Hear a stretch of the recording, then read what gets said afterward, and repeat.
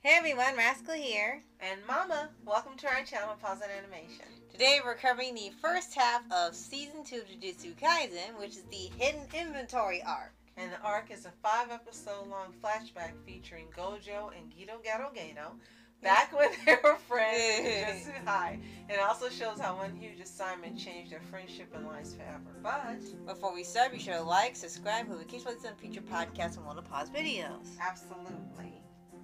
And in in Japanese is referred to as the premature death arc. Right. So that kind of lets you know what these five episodes incur. And although we had all of these posts on X, Mhm. formerly known as Twitter, Right. and ads and different, what do they say? Um, not spoilers, not highlights, previews. Thank you. Previews of it coming up, and you see them all having fun and they're looking happy, and that crap ends pretty quickly. Uh, yeah. And, yeah, the first episode even starts off pretty crazy. It doesn't start with Gato or Gojo, mm-hmm. actually. It started with two other female characters, but they do come in later. But yeah, the intro especially makes it sound like it's gonna be a little more fun, like you're watching the other ones. Lost in Right. Paradise. Right. Yeah. And then I'm like, they said, you're lying with this intro. And they lied in this intro too, like they did with Juniper, the Yeah. girl who's gonna be taken out. She's in there. So so every season, you're gonna have an opening where you lie and make people think that there's gonna be a character that's gonna be a part of the cast, and you kill them off. Right? Okay, quit doing that. And, so for this time, we knew it was like, okay, they're lying again. This girl's not gonna stay in here. Why did they put her in the opening? Right. Uh, Someone has you- a sick sense of humor. Right? Because you think you're so funny. so, and they said this arc is only five episodes long, which was actually a surprise to a lot of people. They expected it to be much longer. But when you really think about it and you read the manga over again with this particular arc, it really isn't that long. It just feels like it is. And they didn't even cut anything out or add a bunch of superfluous things to stretch it out. It really wasn't a big long story. It just told you enough for what you know was coming for Shibuya incident. And that one I think is gonna be longer. So Well, it has to be when you think about the manga. yeah. And how long it went on and on. Cause I know for some they were thinking are both arcs gonna be five or six episodes long? Well that's impossible because too much is happening in both of them. So I guess Hidden Inventory was gonna be short, like a little prelude, and then Shibuya would be the rest of the season. And the thing with this is so many people, not us, were looking forward to see the battle between Gojo and um And Gato, right? Oh no, wait, I'm sorry. The it's supposed to be Fushiguro's dad. Yes, Toji. Toji. Toji, yeah. and Oh gosh, it yeah. It got really violent, really crazy. And although we'd read the book and knew it was coming, we still weren't prepared to see it animated. Yeah, because you kind of forgot it was coming in. Yep. That's kind of you got distracted. Like, oh wait, that's right. That did happen all of a sudden. It just was on the next page. Here's the next second. Yep. And it was not pretty, and it was really weird when you saw some of the visuals and you were like, oh my gosh, and we were like, okay, can we fast forward this? I knew this was coming, but no. Right. It was like not the pleasant part. Yes, so the first episode was a lie. Right. For those who didn't know, because they hadn't read the manga, so it was the opening. And then episodes two and three were the ones that were the roughest Right. in seeing things occur. Right. you got to episode four, and Gojo comes back. Right. And has his full potential power unlocked thanks to Toji. And a lot of things people were looking forward to in here were all their younger designs in the anime because they really grew attached to how they had them look when they were in Jujutsu High together. Mm-hmm. And they also really, really, really wanted to see Toji. I mean, they were like rabid over him coming in, and they've been waiting two years to see him come in and be animated. Mhm. And like true an obsessive level over Toji, and we you and we read the manga, and you're we're kind of questioning like why, why he. It's not like he's just crazy. He is psychotic, and these people are in love with him. Like, I mean, you're free to have your own taste, but it's like, are you sure about this? He's massive and brutish and just I guess. evil. I guess mean, it's no someone's other type. I. I guess it's a lot of these people type because they were in love with him. And going, well, he did name Megumi, yes, and he said a girl's name. And Yeah. He didn't kill Megumi, and that's because he wasn't with him. Oh. And yeah, I don't see any redeeming quality for Toji. oh if you guys know of a redeeming quality, let us know in the comments below. Otherwise, oh, Yeah.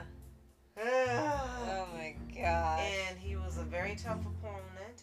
Yeah, for- uh, yeah, he was. Because that went on for two to three episodes fighting him. Because they showed him kind of just slacking around and eating and kind of half assing things. But then when it got to where you about to fight Gojo, and suddenly he came out of nowhere with all these moves and skills and weapons. And they say he doesn't have any sort of sorcery power whatsoever. Though they have a thing that keeps his weapons is disgusting looking, but he has no sorcery powers whatsoever. He was taking all these people out just with bare hands. Yeah. So it tells you how much of a threat he was, taking out these sorcerers, and he didn't even have any to begin with. This is where, if you're not familiar with the anime and you see the backstory, you learn that people who get ready to kill others tell them about their cursed power, or in his case, what his abilities are and how he uses them to know what's happening. Right. When they start explaining and telling them, it's because they plan on taking them out. They're not going to share it or tell anyone anyway because they're going to kill them. Right. And they started that here with this arc for those who aren't familiar with that from the manga. Right.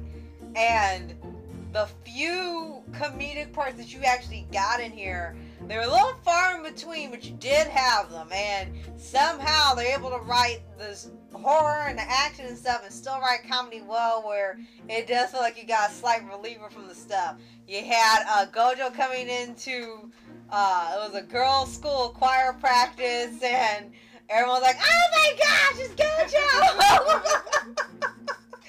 and you had them on the beach. You Look, he looked like he was just like Luffy for some reason. Yes. They had oh, well, they'll just do some stuff together before she has to fuse with the Tengen guy. And they had one scene in there where they rescued her caretaker. And at first we thought they had cut something out. And like no, it was really done quick because it said they came in and Gojo kicked the door and then he said, stomped on somebody and said, okay, we can go. And he said, that's a good fellas reference. Yeah, it was. And it's like, that's it! oh my god. It's so like- yes, you're right. There was and we knew what that crap was gonna hit the fan. yeah, you knew it was coming. This time we like, okay, at least we know this time is coming. Still, it was a surprise. Yeah. Somehow it managed to still be a surprise. The animation we need to mention was done differently from the regular series, so that it would focus and let you understand this is the backstory. Yeah. Everything was different about it. It was brighter. The colors were mostly blues and whites and blacks, and they had like a color scheme they stuck with for the entire five episodes. Right. And it was very bright. It was like yeah. if you put things in the snow, if you put something that's surrounded by snow and you don't have anything else, and you get that that uh, that glow, that And intense- contrast. Yeah. Yes, and that's to me what the animation looked Right. like. And I guess this was a flashback, it looked brighter. So I guess that was the inference. And the fluidity was different from a regular Yeah. animated uh, episode as well. yeah, they moved a lot. They had a lot more frames added to them, so they moved a lot more smoothly. You the the mouths moving more articulately. They were really detailed. They moved a whole lot, like they were constantly moving. Not in a really distracting way where it looks bad, but I guess they wanted to look more animated. And another reason is because I think the original person did the art for the first season was not involved with this because to one of Toonami's newer anime that's uh, coming out looks like the style of first season JJK. So it looks like they started working on that and they got someone else to do this. And we know that a lot of people are really worked uh, worked uh, around the clock at some of these studios. So this is one of the few times people didn't really complain about the animation after finally, you know, they sleep at their desks or sleep at the office and they work long, long hours. So there's a little bit of a change in like bad mouthing the animation now, unless you know that they really didn't try. Uh, there's really not much backlash on it, and I think that's why with JJK, people knew it was different, but they decided, out of respect for the workers, not to push a big deal about it looking so different from season one. Well, I think personally was done on purpose. I remember saying this to you that it was intentionally done so that it represents something totally different. You understood that it wasn't, it was connected with the present, but they wanted you to know it was in the past. It looked different, had a different feel. I think everything was meant to be different to differentiate between the past and the present as far as these episodes.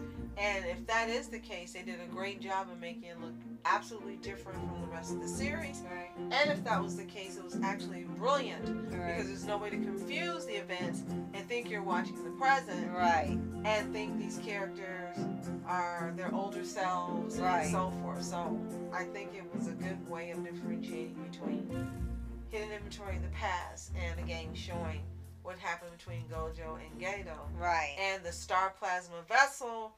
Uh, Yeah. I think her name was Roki or Rico. I think Rico. That got taken out. Yeah. And remember, that happens only once every 500 years. Right. So it was really uh, unique for this time. So, if you have seen, and we know you have, the hidden inventory arc, let us know what you think in the comments below. Were you waiting to see the action like a lot of people were? Were you horrified by some of the action like Right. some people were? Or were you like, yay? Let us know what you yeah. think. And if you haven't seen it, you gotta go ahead and watch it because the Shibuya arc has already started. You're right. And even though you really don't have to watch these five episodes to watch the Shibuya arc, you are missing out on some prime information and backstory. Right. And if y'all want very subscribe for updates, you videos your favorite anime series, anime shows, and all things animation. Absolutely. Thank you so much for watching. I'm Rascal Entertainment. And I'm Mom Entertainment. Have a fantastic day. Peace.